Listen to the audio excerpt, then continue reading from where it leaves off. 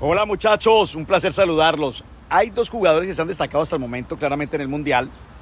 Uno de ellos con una ventaja fuerte por su capacidad goleadora, por su juventud, porque es el eje de la selección francesa, aunque Francia juega más eh, en lo colectivo, con una velocidad tremenda por los costados, haciendo fútbol por dentro.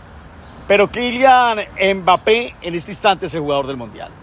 No solamente por sus goles, sino porque además estamos encontrando de nuevo un sucesor de las grandes figuras y de las grandes estrellas que poco a poco le van diciendo adiós al fútbol. Kylian Mbappé, sus números son impresionantes.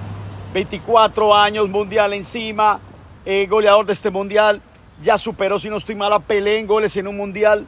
Lo de Kylian Mbappé es una vaina tremenda. Y seguramente, no solo por su capacidad cada vez que juega un mundial, sino cuando salga el Paris Saint Germain va a ser el ganador de todo. Kylian Mbappé hoy es el jugador más destacado del mundial. Y el otro es Messi, porque, seamos claros, Argentina depende aún de la capacidad y del eje de Messi. Cuando Messi está, Messi es el que abre la puerta para que se llene de seguridad el cuadro argentino.